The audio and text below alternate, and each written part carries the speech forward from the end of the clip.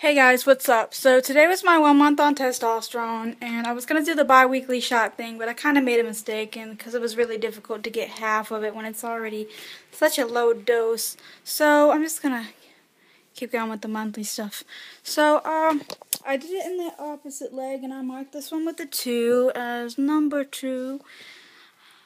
And um, since my hormonal levels have been down for the past couple weeks, I guess, maybe, I don't know, from the last shot. Um, there hasn't been really much in changes, I mean, not that I can tell. Um, increased libido, and that kind of went away a week and a half ago after school started. Mm-mm. And, um, besides that, I don't think there's really anything else. I mean, I can't really tell because the... Cause about my voice because um, I've been making it higher and using uh, a pitch that people would assume to belong to the stereotypical gay guy.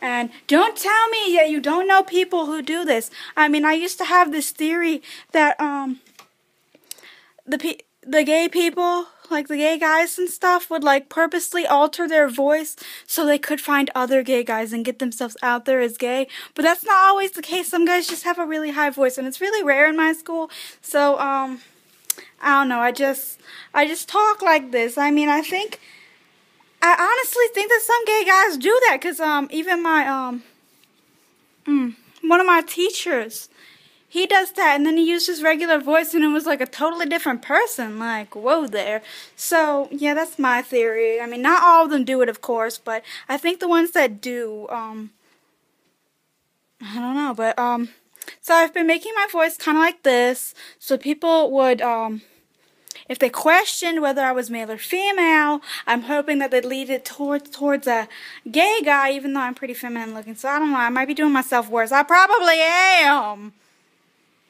Um, yeah, so I gotta get myself conditioned back to speaking in a normal tone so I can actually mark the changes and stuff and so other people can actually see the changes. But a lot of people um, that I'm around, they realize after a certain amount of time that I do different voices. And I guess if they realize that, then they gotta realize that one of them must be fake and one of them must be real.